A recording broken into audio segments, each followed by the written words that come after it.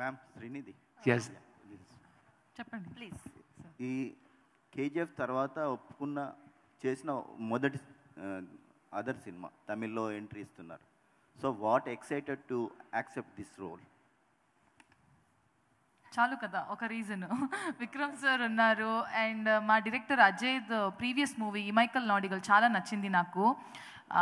Entire movie నేను edge సీట్లో కూర్చి చూస్తున్నాను బికాజ్ చాలా suspense like he said onion layers lot of layers so నాకు you know this director will direct a very good project I knew for sure and కథా script and A R Rahman sir music so బాగా మంచి team and sir దగ్గర ఒక opportunity దొరుకుతుంది screen share చేయాలి కోసం. So అప్పుడు నేను yeah I mean I mean కేజీఎఫ్లో యష్తో చేశారు ఇప్పుడు విక్రమ్తో చేస్తున్నారు. వీళ్ళిద్దరిలో గొప్ప క్వాలిటీస్ ఏంటి?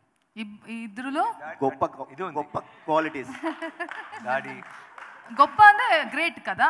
Great quality what are the qualities you find good qualities common is దాడి. దాడి అండ్ హెయిర్ రెండు మా both the costars have beard and hair Yash Yash Garu.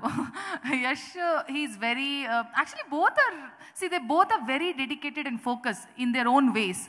Like we can all see with his performance and his work.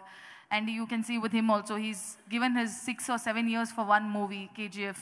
Um, uh, huh? Sorry. Uh, so years uh, ichesaru movie ki. So chala focused, chala dedicated.